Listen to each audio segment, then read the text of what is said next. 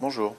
Dans le cadre des trucs et astuces de l'orthographe, aujourd'hui nous allons voir comment orthographier correctement la terminaison ANT, c'est-à-dire quand est-elle invariable, ANT, ou quand doit-on l'accorder, ANT, ANTS, ANTE ou ANTES. Donc première partie, en bleu, une petite partie théorique.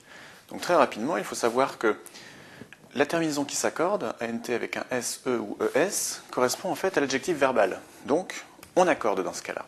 En revanche, la terminaison invariable, ANT, elle correspond au participe présent, donc du verbe conjugué, et cela signifie qu'on n'accorde pas. Donc maintenant, quels sont les trucs et astuces pour savoir comment orthographier correctement cette terminaison?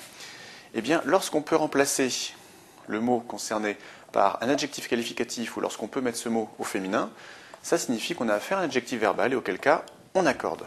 En revanche, quand on peut précéder le mot concerné par en ou alors quand on peut le mettre à la forme négative, mais en tout cas quand on ne peut pas le remplacer par un adjectif qualificatif ou le mettre au féminin, on a alors affaire au participe présent, et dans ce cas, on n'accorde pas.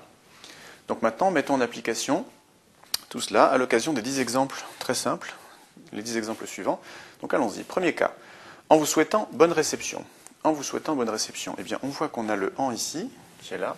Maintenant, mettons-le mettons à la forme négative. En ne vous souhaitant pas bonne réception, c'est tout à fait correct.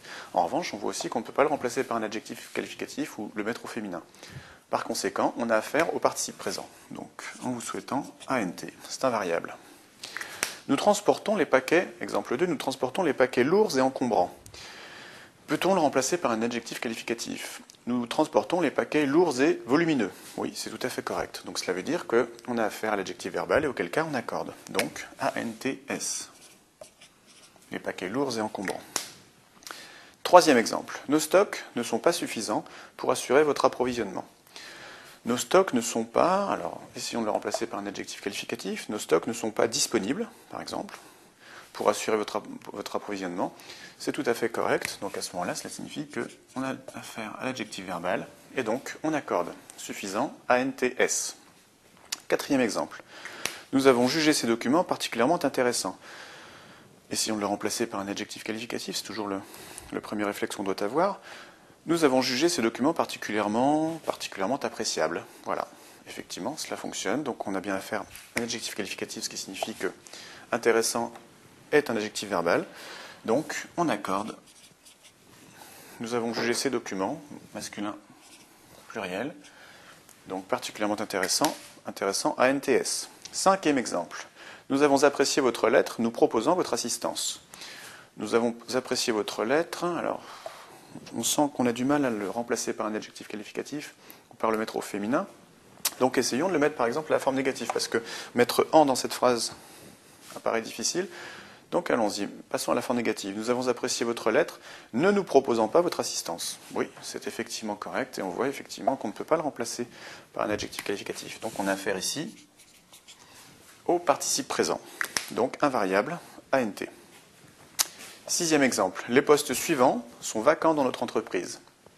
Alors essayons de remplacer ces mots par des adjectifs qualificatifs. Les postes libres sont disponibles dans notre entreprise.